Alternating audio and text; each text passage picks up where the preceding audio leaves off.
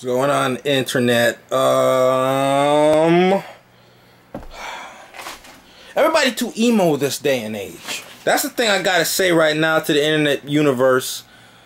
I grew up on the internet. I'm one of those guys, and being that kind of person, you see what the internet is brick holes hard. You know, you don't you don't get introduced to it slowly None of that crap. You gonna get blasted by internet. And I did. I was 15. I got flamed on a forum. I thought it was the end of the world. I lost my mind. It got to me. And then you realize that's what people do. You know? For me, it took a long time to come to terms with that situation. But now that I'm older and, and my body's losing its youth and all that and everything and you realize when you go online, there are people just sitting at their computer from a million miles away and they start crap. that's how it is. So I never take the internet serious. So it's it's tough to be in the world now where you got politics being center stage on, on the internet and I come from a time where the internet was like a circus. And I like that. I like that I could get away from life on the internet.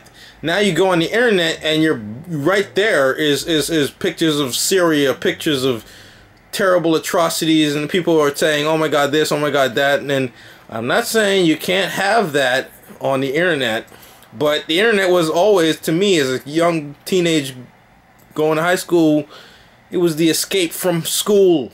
And now it's you go on the internet, and I'm pretty sure most of the kids today they use the internet heavily if they don't watch TV or something. And now they got glutton of very very gruesome real world political stuff going on you know?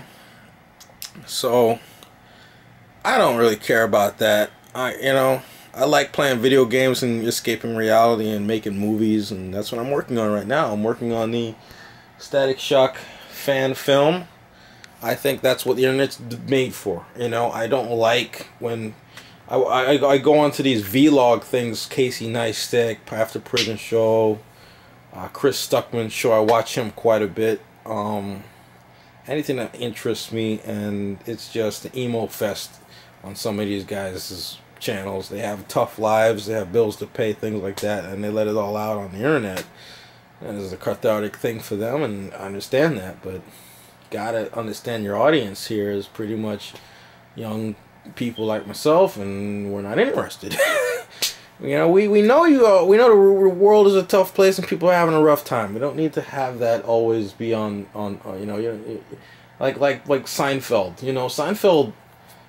I love the I love the fact that you never see Seinfeld pissed off or, or down. You know, and I'm pretty sure him he himself as a person he had bad days, and you know, but he never showed it. So I like that when I could watch Seinfeld. I knew I was just going to be having a good time watching Seinfeld or even any other show back in the 90s. The writers, the actors, they all had bad issues in their lives, but they never put it on show. The show must go on. That's the idea. You know, you can have whatever the hell's going on today, the show must go on. So, internet has to go on. You know, we can't just stop and say, oh my God, the health care bill, Republicans, all this stuff the show must go on, even with that crap going on. Okay, and I don't really like the Donald Trump presidency and all the crap he's trying to pull, but in truth, he's no different from any other president. They all lie. They all, you know, he's just so open about it.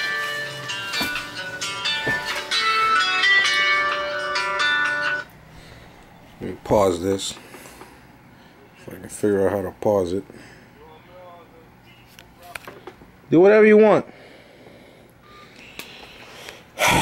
That's my girl right there, man. I can't believe I could actually get in contact with this chick. This is Maria Ramos. She's on Facebook and Twitter. She's very active on them. And uh, gorgeous beyond gorgeous. You live a long life and then you finally see something. Mm, life is good. Uh, I only got three minutes left basically I wanted to make this video to kind of express some thoughts I have on what I'm trying to accomplish here. This project is, you know, I'm having my doubts about getting it finished. I want to finish it. I believe I can. I bought this. I bought. I bought a camera drone for hundred dollars. I'm only gonna use it to help me film this project. So That's how stupid I am. Um, got like three minutes left of recording time. Probably two minutes. But I got quite a few little props that I'm going to throw in there. And I've been reading the actual Static Shock comic book. And uh, it's really, you know, I'm still trying to figure out who Virgil is so that when I play him, I'm accurately playing him. I'm not just making stuff up or playing him based on Phil LaMarr's uh, take on him in, in, the cartoon. I want to play the comic book version, the ver, not Freudian, uh, comic book version. Um, what, what, what, what, what, what, am I gonna play? You know, and I'm reading the comic book, and uh, it's uh, he's very smart. That's the one thing. His character is he's very intelligent. Uh, I don't know what motivates him to be Static Shock. I'm still trying to figure that out. It's the last piece of the puzzle.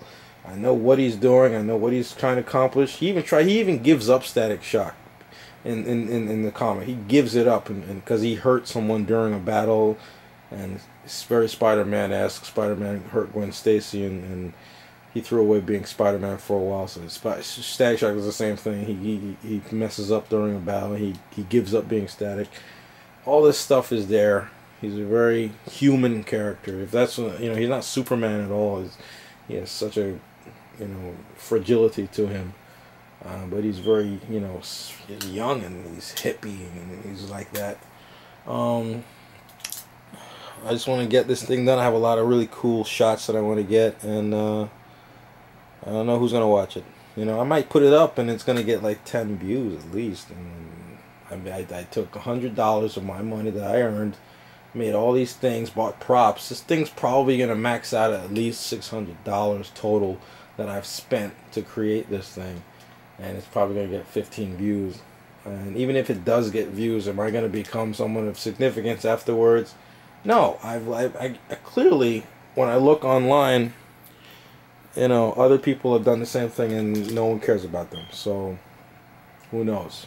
All right? Thanks for watching.